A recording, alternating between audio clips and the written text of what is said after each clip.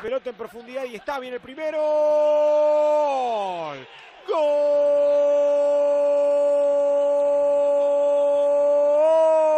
de Paquetá. Apareció el brasileño para empujarla ante la atenta salida de Rachupi. Balón filtrado de Toco Cami, pero todo nació en Aguar. Jugador con elegancia, con clase para salir.